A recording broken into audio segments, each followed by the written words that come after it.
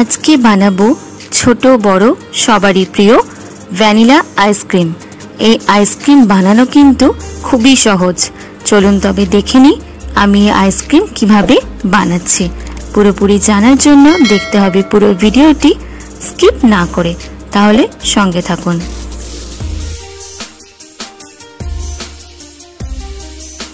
এর জন্য লাগবে দুই কাপ দুধ, এক কাপ দুধের স্বর এক কাপ চিনি, দুই চামচ ময়দা গোলা জল এবং ভ্যানিলা এসেন্স। এখন প্যানের মধ্যে দুধটাকে নিয়ে আমরা দুধটাকে একটু গাঢ় করে নেব। এভাবে একটু নাড়িয়ে নেওয়ার পর এর মধ্যে দিয়ে দেব ময়দা গোলা জল। ময়দা গোলা জল দিয়ে ভালোভাবে নাড়িয়ে যেতে হবে। এ সময় গ্যাসের ফ্লেম কিন্তু মিডিয়ামে রাখব।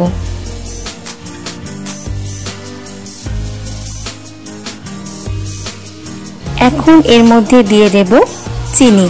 চিনি দিয়ে ভালোভাবে দুধটাকে মিশিয়ে নিতে হবে। এইভাবে কিন্তু অনবরত নাড়িয়ে যেতে হবে, না হলে দুধ নিচে লেগে পুড়ে যাবে। দেখতেই পাচ্ছেন, দুধ ঘন হয়ে আসছে। এখন এর মধ্যে দিয়ে দেব দুই চামচ ভ্যানিলা এসেন্স। আবার দুধের সাথে ভালো করে মিশিয়ে নেব।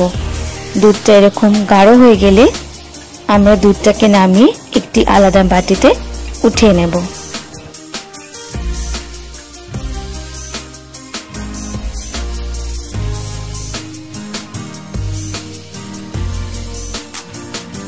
দুধটাকে আলাদা বাটিতে উঠিয়ে ঠান্ডা করে নেব।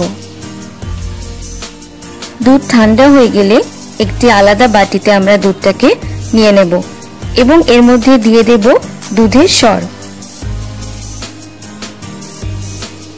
চামচ দিয়ে ভালোভাবে নাড়িয়ে নেব।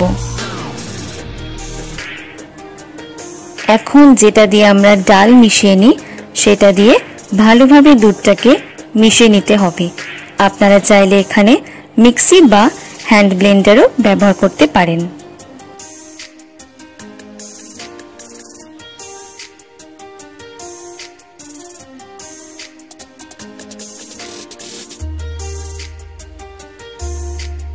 দুধটা ভালোভাবে মেশানো হয়ে গেছে।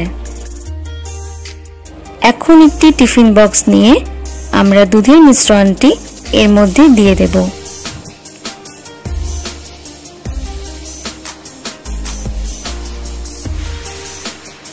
এবার এর ওপরে দিয়ে দেব একটি পরিষ্কার প্লাস্টিক, যাতে দুধের ওপরে কোনো স্তর না জমে।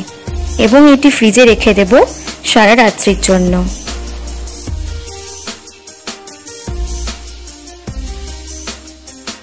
চলে এসেছি পরের দিন সকালে। দেখিনি আমাদের আইসক্রিম কেমন জমেছে। দেখতেই পাচ্ছেন কি সুন্দর আইসক্রিম জমে গেছে। এখন আমরা আইসক্রিমগুলোকে তুলে নেব দুটো বাটিতে।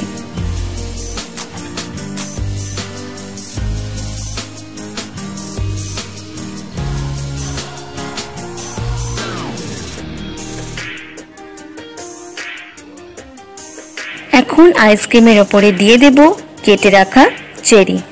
এবার আমাদের আইসক্রিম খাওয়ার জন্য একদম রেডি চলুন ঝটপট খেয়ে ফেলি যাতে আইসক্রিমটি গলে না যায়। কেমন লাগল বন্ধুরা?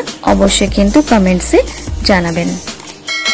এখনও যারা যারা আমার চ্যানেল সাবস্ক্রাইব করনি, তারা প্লিজ সাবস্ক্রাইব করে দিও। তোমার সাথে দেখা হবে নেক্সট ভিডিওতে